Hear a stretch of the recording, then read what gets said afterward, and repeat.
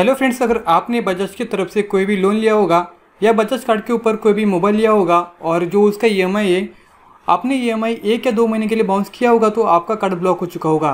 लेकिन अभी आपने जो भी ईएमआई का अमाउंट था मतलब कि अगर बारह हज़ार का आपने मोबाइल लिया, और बारह हज़ार रुपीज़ आपने एक साथ भर दिए, फिर भी आपका कार्ड उन लोगों ने अनब्लॉक नहीं किया। तो आपका कार्ड अनब्लॉक क्यों नहीं होगा? कैसे करेंगे कार्ड को अनब्लॉक उसकी पूरी जानकारी आपको इस के अंदर मिलने वाली है। नमस्कार दोस्तों, मेरा नाम है राहुल और आप देख रहे हैं अपना हमारा चैनल तो आइए शुरू करेंगे। फ्रेंड सबसे पहले मैं आपको मेरा कार्ड दिखाना चाहूँगा यहाँ से, बजाज के अंदर। अगर आपने भी बजाज से लोन लिया होगा तो इसके अंदर अकाउंट ज़रूर ओपन करना, बजाज फिंस एप्लीकेशन के अंदर। क्योंकि इसके अंदर सारी इन्फॉर्मेशन आपको पता चल जाती है कि आपने कौन सा लोन लिया, कितने का लोन लिया, सारी इन्फॉर्मेशन यहाँ से आप देख सकते हैं। और अगर आपने बजाज का लोन भर दिया एक साथ तो आपको एनओसी नो ऑब्जेक्शन सर्टिफिकेट भी यहाँ से मिल जाता है। तो आप यहाँ पर देख सकते हैं कि your card is currently block तो मेरा कार्ड यहाँ पर ब्लॉक हो चुका है क्योंकि मैंने लोन लिया था और सबसे पहला जो पहला ई मेरा, मेरा बाउंस हुआ था मैंने पहला ई एम नहीं भरा था मतलब दो तारीख को ईएमआई जाता है लेकिन मैंने दस या ग्यारह तारीख को ऑफलाइन मतलब कि ऑनलाइन पेमेंट किया था उनको। तो मुझे एक मैसेज आया कि आपका कार्ड टेम्प्ररी ब्लॉक हो चुका है। टेम्प्ररी मतलब कि इस इसमें कुछ नहीं होता। अगर आपका कार्ड टेम्प्ररी ब्लॉक हो हो गया इसका आपको मैसेज आता है तो आप जो नेक्स्ट ई है, वो टाइम पर भरते जाओ। लेकिन मेरा जो सेकेंड ई वो भी मैंने भरा नहीं था दो तारीख को। मैं जो ई भरा था, वो दस या ग्यारह तारीख को भरता था, हर महीने के। और उनका जो पेमेंट का डेट है ई का डेट है, वो दो तारीख था।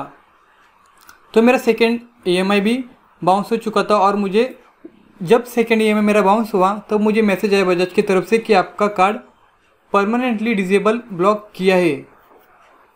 तो अगर आपको ऐसा मैसेज आता है, मान लो अगर आपने सिर्फ़ एक ही ई बाउंस किया है तो आप टेंशन मत लो। आपका जो ई है, आप जितना भी बाकी का ई है, वो आप रेगुलर भरते जाओ। या आपने सारा ई एक साथ भरा है तो कोई प्रॉब्लम नहीं, आपका कार्ड अनब्लॉक हो जाएगा, चालू हो जाएगा। लेकिन आपने दो से, दो या दो से ऊपर ई एम बाउंस किया है तो आपका कार्ड कभी भी अनब्लॉक नहीं होगा। तो उसके लिए एक ही करना होगा। आपके घर पे जो भी होगा मेंबर उसके नाम पर नया बजाज कार्ड बनाना पड़ेगा। आपका कार्ड कभी भी चालू नहीं होगा। अगर आपने दो या दो से ऊपर ई एम आई बाउंस किए हैं तो। आप यहाँ पर देख सकते कि जितना भी मेरा लोन था मैंने सारी यहाँ पर भर चुका हूँ। यहाँ पर आप देख सकते कि zero E M I left zero E M I left जितना भी लोन लिया था मोबाइल लिया था वो सारी ई एम आई ऐसे में भर चुका हूँ। आप यहाँ पर देख सकते हैं। सारी आ, सारी जो इन्फॉर्मेशन थी सारी जो अमाउंट थी मैंने वो पूरी कर चुका था ऐसे और आपने बाई चांस इसको फोरक्लोज किया मतलब जो भी अमाउंट था आपने ऑनलाइन पे किया तो इसके अंदर से आपको एनओसी भी मिल जाएगी।